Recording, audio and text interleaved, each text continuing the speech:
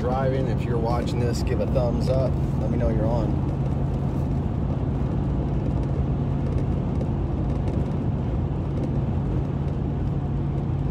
Wait a few minutes, see if anybody pops on.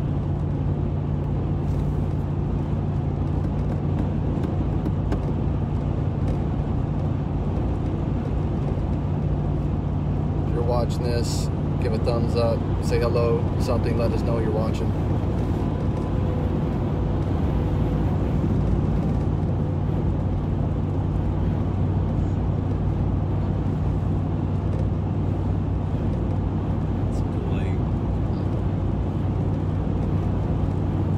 All right, well, we are driving to Wooster, Ohio. We have finished our first day meeting at Cedar Falls. Now we were on to Wooster, Ohio. Going to be doing a meeting there. Encourage you, if you have not registered yet, to get registered for one of our meetings. We are doing some giveaways. We are doing meeting specials, offers, giveaways that we are not offering any other time of the year. Just this one day at our meeting. Uh, you have to come and find out what that meeting is, but uh, there are some free product giveaways. Buy product, get product for free. But again, this is only happening the day of the meeting, so you'll have to attend to be able to get those incentives and those offers. So I'll post a question about anybody have a question we could answer. The question was about base saturation of potassium and then how do you raise base saturation um, with or without the dry fertilizer or get that needle to move.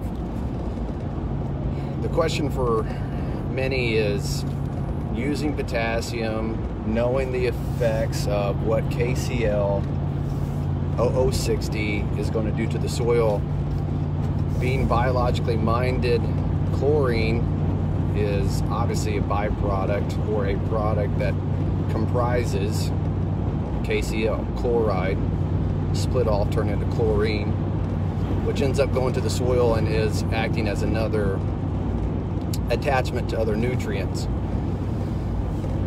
It's been a necessary evil, so to say, of KCl being part of the history of farming.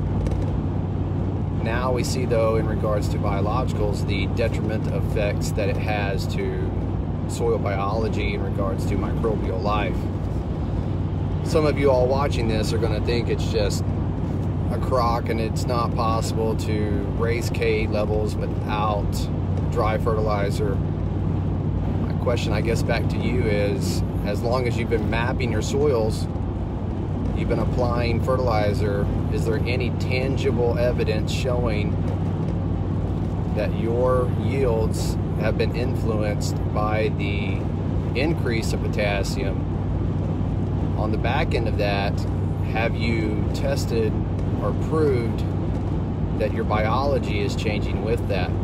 I say that for this reason. So the history goes, we have a a colleague of ours that has been that we work with producing liquid fertilizer and it comes down to the battle of dry versus liquid can you efficiently and effectively supply enough potassium as well as phosphorus with liquid fertilizers now some of you all are going to quit watching this video because it goes against everything that you've ever believed when it comes to raising crops and you say there's no way that can happen. Um, I've heard it all, I've seen it, I've been in conversations. However, I dare to differ that there are customers, because we do have these customers that are actually using liquid fertilizer on their planter, foliar feeding it throughout the year, raising e efficiently, raising 250, 280, 300 plus bushel corn, 80 bushel beans, without the need of dry fertilizer. I'll tell you an instance. We had a meeting yesterday in Cedar Falls, Iowa. We had our good friend and customer, Matt Brinks, give a presentation. The data showed from 2003, whenever he had soil reports, up to the time period of last year, 2019, he had uh, presented three soil reports 2003, 2014, and then 2019. He showed the uh, base saturation levels, the uh, macronutrients, calcium, magnesium, and potassium, CECs, some of the micronutrients, uh, because back in 2003 they weren't testing, I don't think as much for him, they were testing all, all of the micros. pH, obviously organic matter. So he starts out with base saturation of three-ish, four-ish in 2003. He's using dry at that time, dry fertilizer, MAP, DAP, urea, KCL, using that as a source of fertility. He then switches in 2012. 2011 was the very last year of fall of 2011 that he stopped using any dry fertilizer. 2012 would have been his first year using liquid fertilizer. So he started using liquid fertilizer on the planter in 2012. I started working with him in 2014 and his conversations primarily dealt with increasing soil health and soil biology. So we started 2014 using BioRed on his soil and the 2x2, broadcasted it on the soil. We did fall residue applications with the biology. And the stark reality was that from 2003, where he was using dry, 3 4% base saturation on potassium, up until 2019, his base saturation went up to as high as 5.9% on the field that he'd been pulling samples on at his home field. So he had raised his potassium, in essence, almost nearly two points from 2003 to 2019 with stopping dry fertilizer in 2012.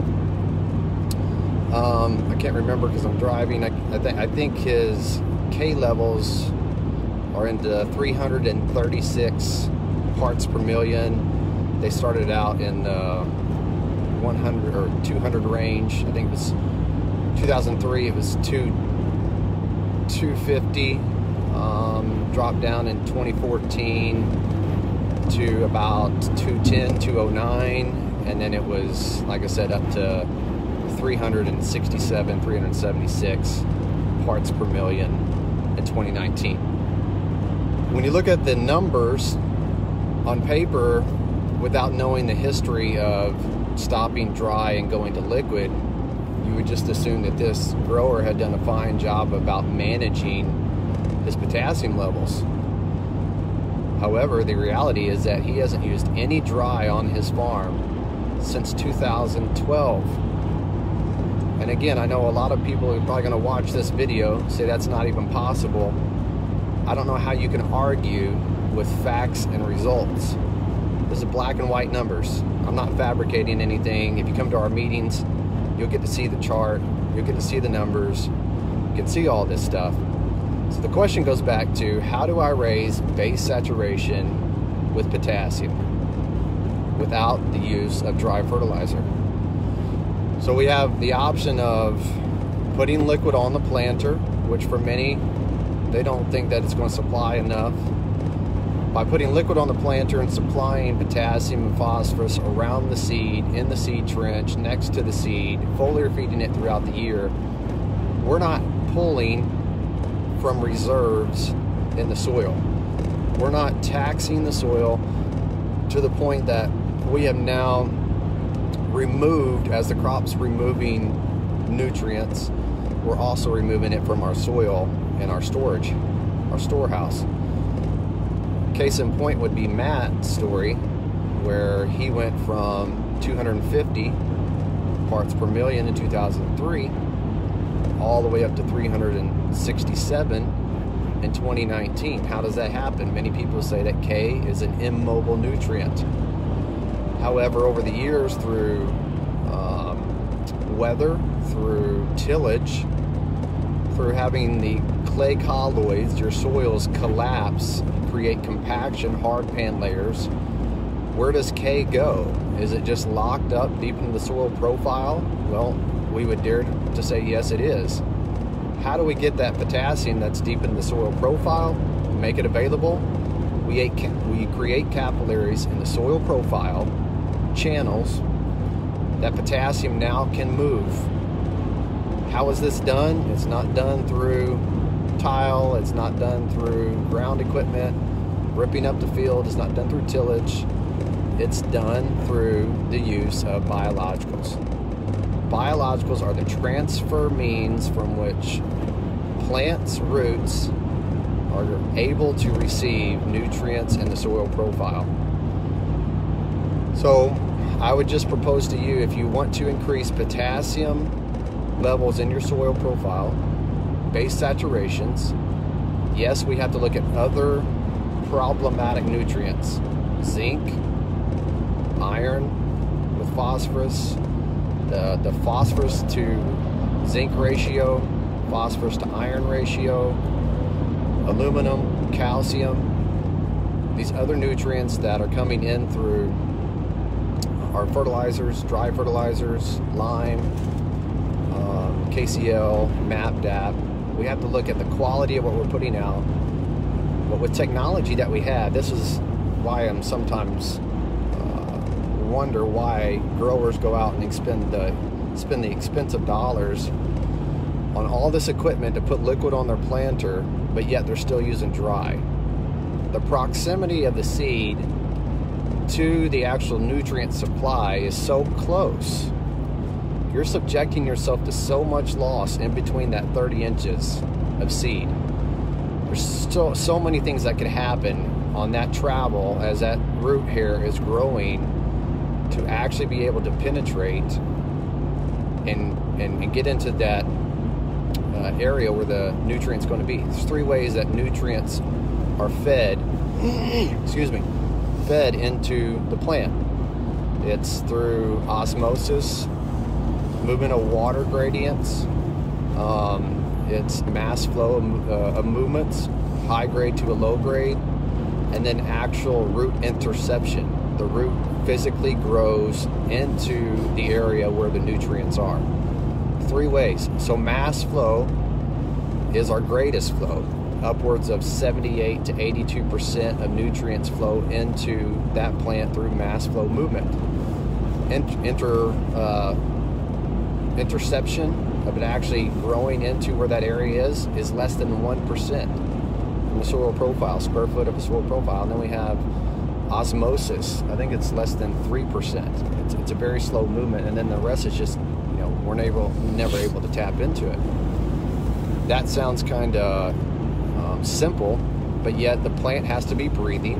We have to have movements in the xylem and the phloem. There has to be some new developing part of the plant growing. Roots need to be stimulated every 24 hours up until the point that we're able to hit reproductive stages and the plant starts to mature, the plant starts to slow down, we have to have activity. Well, this activity then garnishes and pushes us to have interaction with our soil. Plants are communicating with the soil, soils are releasing then the goods for the plant to grow. So we raise our base saturations. For me, for us as a company, we promote liquid on the planter. I have no dealings, make no money off of precision planting. I'm not advocating that company is the only company, just the company that we've worked more with their products. The Furrow Jets, Yield 360 has products out there. There's other companies that are bringing products to the market, already have products out there. The reason why FurrowJets for us is beneficial is the fact that we can apply a liquid fertilizer, plant food, 31818, 924.3, 624.6. We can apply that off of the seed. There's no salts. There's no worry about any burn, issue of any burn. And then we can take water and biologicals and put that close to the seed, right on top of the seed. Yes, that requires two different pumps, different tanks, different hosing, but yet you're building soil health around the seed, reducing salt levels, and that's what we have to look at. How much salt is the KCL supplying? Potassium is a salt. Then you have chloride. Chloride splits off, ends up being chlorine. These are all detrimental to soil life. So I was talking about our colleague who um, tells the story. He has a customer. He's been in the industry for 38 years. Produces the purest, best liquid fertilizer that you can find on the market. We promote and sell his product. That product for us is called Nutra HQ. Variety of products that we offer. That's what all of our customers use. He has a story where he has a um, a student that was going for their PhD, was doing a thesis statement and was observing soil profiles that had used growers who had used dry fertilizer, growers that had used liquid, his liquid plant food for 35 years. So this student found a farm in southern Illinois and then a farm outside of Hannibal, Missouri. Not real far in distance, but probably four hours apart. Similar soil textures, similar soil types. For 35 years, the one soil had dry fertilizer, KCL, um, MAP and DAP, whichever one I'm not for sure, but supplying the phosphorus and potassium. For 35 years, another soil, a customer of his had been using this 31818 chemistry, low salt, 100% ortho food grade. The story goes that the student tested the bacteria per gram of soil. Bacteria per gram of soil, not per pound, not per acre, per gram. You understand, per gram is very, very minute amount of soil. Per gram, on average, a healthy soil is going to get 600 to 800 million bacteria per gram per soil. Okay? The 35 years of dry fertilizer, of which most farmers use, in this scenario, this grower had 400 million grams per soil. 400, 400 million per gram of soil, excuse me. So the grower that used dry, 400 million. The grower who used liquid was hitting over 3.7 billion with a B. 3.7 billion uh, bacteria per gram of soil. Can you fathom that? You're talking about it's and the grower that was using dry didn't even adequately hit the uh, the good level of bacteria per gram of soil at 400 million. We're almost talking about a thousand percent increase just by using liquid. You say, well, I want to see his yields. I want to see how well he's been doing. His yields have increased every year he's been using liquid on the planter. It's not just about how much is X's and O's. So many people get hung up on the X's and O's of how much it takes to raise a bushel of corn and a bushel of soybeans. I don't, I'm not arguing that. There's obviously a number that universities, growers are using, but we're talking about data sets and data points that we are making on our farm. We're using these as resources. When this stuff was set back 20, 30, 40 years ago, I mean, we have new equipment on planters, we have new seed genetics, we have new formulations of liquid products, but yet we're still in the mindset and making decisions on our farm based upon old resources.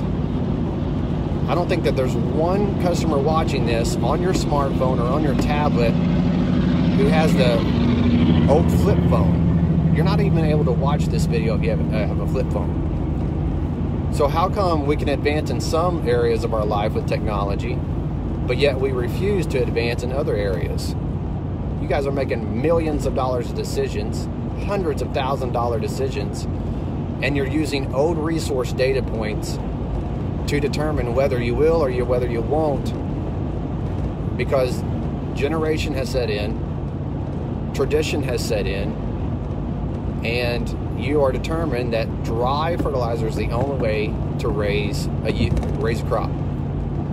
I posed the question yesterday in the meeting, is tradition more important or is future more important? So this is the defining line you're going to find yourself five years, 10 years, 15 years down the road. You might have farmed 20 crops. You might have farmed 30 seasons. Where are you going to be five, ten years down the road? Where's your soil? What type of condition is your soil going to be in five, ten years, 15 years down the road? If you want to become efficient, then yes, you need to get around people who are thinking outside the box, doing different things, and, and able to offer you quality products. This is where it comes down to quality, sound advice, and quality products. Fertilizer companies want to sell you fertilizer, no doubt about it. Universities want the farmer to, I'm going to probably get in trouble for this, a lot of people are going to be turned off by this Universities want you to use fertilizer. The universities are getting their pockets filled from the fertilizer companies because of the tonnage that's coming across the border or traded inside that state. They're making money anytime that I ship product from Missouri to Illinois or Missouri to Iowa or Missouri to Nebraska, Missouri to Ohio it's a tonnage report, okay? So we have to pay a fee, a percentage of what we ship into that state. While our numbers are very small, you can only imagine what a fertilizer company is using tons, hundreds, thousands of tons of fertilizer going to a state, going to a region. The universities are making money off of this. So, yeah, they want you to use fertilizer. My question is to you is tradition more important or is your future more important? if you truly are about soil health, then put action where your mouth is. Actually do the work. Test your soil. Understand where your soil biology is. And then for us, like we promote liquid fertilizer on the planter. If you're going to spend 30,000, 60,000, 100,000 plus dollars to upgrade your planter, put liquid on your planter, why not use quality products? Some of you all are using cheap products, um, trying to save a buck, two dollars a gallon, and you don't understand that the quality of that product. The reason why it's cheap is because there's other contaminants that are living and abiding in that product. Yeah, it looks clear, right? It says yes, it's an ortho product. They're not telling you the whole story. They're not telling you how much salts are in there. Uh, well, they might, may or may not. They're not telling you how much aluminum is in there. I mean, these companies run through and get waste to make the product that you're buying. You might be the second or third user of that acid, but you're buying it and you're using it because it's a dollar fifty, two dollars cheaper a gallon, and you refuse to buy our product that's a dollar fifty or two dollars more a gallon because you want to save a buck. You want to save two dollars. But yet the if you were to take a magnifying glass and understand, you just destroyed millions, maybe billions over years of natural living bacteria and fungi. You killed it all. For what? $2 savings a gallon on a product? That's why I say, are you farming for the tradition or are you farming for the future? That's what you have to ask yourself. So the original question was, and if you got a question you can ask if you're watching this, farming question, ag question. The question was, how do I raise base saturations on potassium without the use of dry fertilizer? Simple question, simple answer is use BioRed. I can't speak for any other company. I can tell you that customers that are using our BioRed product, they are efficiently raising their potassium levels. We see it in the soil, we see it in the tissue samples. And you say, how's that even possible? I have to tell you, the reason why it's possible is you're creating capillaries that go deep into the soil profile that you're not able to see. It wasn't put there by manual labor, it wasn't put there by a piece of equipment. It was done through channels and pathways that breed and grow deep into the soil profile. They're going out, they are finding the nutrients that are needed, then they're percolating it, sequestering it, bringing it up to the roots, up to the roots of that developing plant, and we're starting to find it in our soil reports, our analysis of the soil. This is how you raise base saturation. Can you do it with potassium? Just dry? Yeah. I'm sure people watching this video, you have your own reports. You can show me five years, eight years, nine years that you've been able to adjust potassium in your soil. Maybe you've raised your bushels, maybe you've raised your HPH averages, APH averages. Maybe you effectively have done that. On the backside of that, though, I think the most important thing is what have you done to your microbial life in the process? We are all about biologicals. The safety, the health, and the longevity of your soil life has to be more important than a tradition. Has to be more important than where you're setting right now. So you want to raise a percent, 2%, 3% on your potassium. Where do you start? You start with us using a, bio pro a product called BioRed. You apply BioRed in the row with your planter in furrow. You apply it pre-emerge uh, broadcast with your burn down herbicide. You're putting it on the soil. You're starting an application supplying microbes, biologicals to the soil that are going to have the function and the ability to get into your soil profile, go find potassium, end up making that available to the plant as that plant is growing. Can you do this in one year? Potentially. But it took you 5, 10, 15, 20, 30 years to get to this level to where you, now you become frustrated. You become frustrated with your production. You're not happy with your numbers, you're not happy with the bushels, and you're wondering, how do I get into this next level? How do I break this yield barrier? You're gonna have to go back and you start readjusting and looking at the basics of growing, and that's soil health. The seed genetics are obviously there. We know that we have the great seed genetics. It's 2020. We live in the 21st century. There's enough scientists, geneticists, DNA that have been put into seed to know that we have potential to raise high bushels. Guys are doing it, right? So, what's your limiting factor?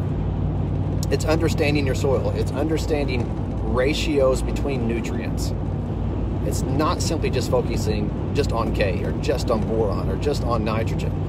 Understanding the ratios between two nutrients and then what products or what practices is your farm implementing that is either causing degradation and loss or it's causing an increase of your soil and of your crops.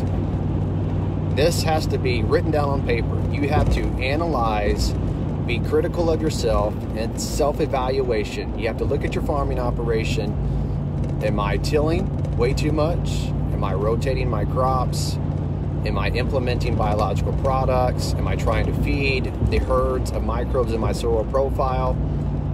I can't answer that. I don't know what that is.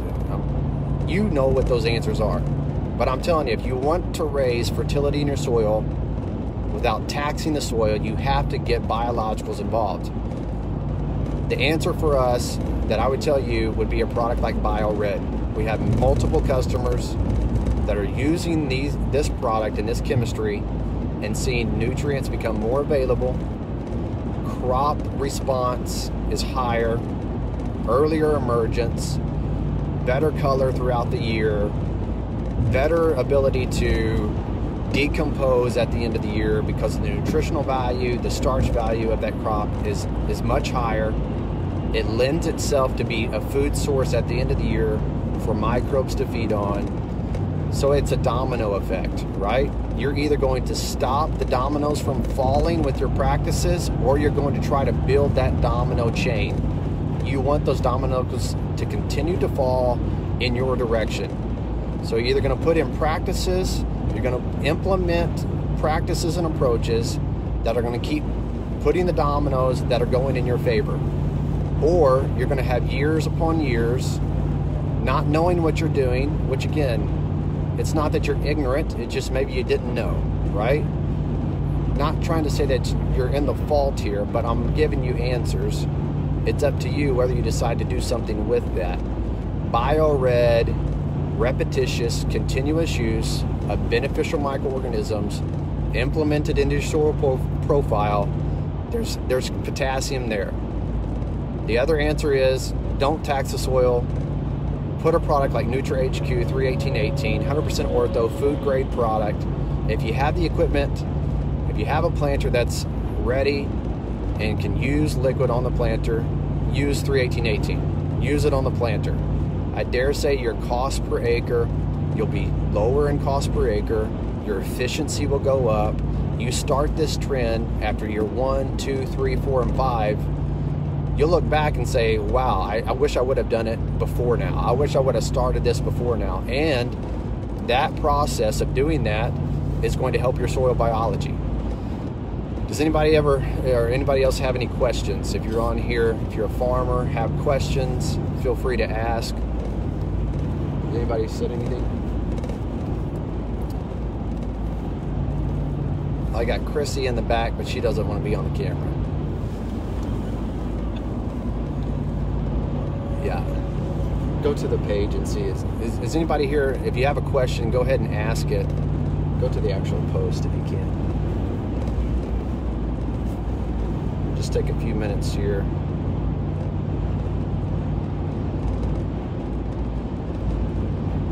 All right. Well, I think that's it for now. If you guys have any questions, feel free to message us. Let us know. We'll try to get them ready for the uh, the next live. We'll be back on the road tomorrow. If you're watching this and you're in Ohio, please join us at Wooster. If you're in other states and you haven't signed up, I would encourage you to go ahead and sign up. Again, we have a one day giveaway. One day we are going to do something that we've never done with giving away product. You want to be there. You want to get information that we're going to share with you. Uh, Jimmy Frederick's going to be speaking uh, at the meetings. Will Cox will be speaking tomorrow in the Ohio meeting. Chad Himmer will also be in the Nebraska meetings. So we encourage you to come to the meeting, attend the meeting, and take advantage of this one day special.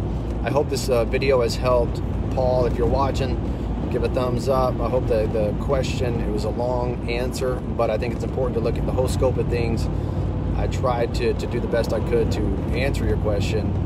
And I think if you're able to attend to one of the meetings, Paul, you'll see the numbers for themselves on the screen and, and see the hardcore numbers. So I encourage you guys to come to the meetings. Appreciate you all watching, and we hope to work with you in this year in 2020. Thank you again.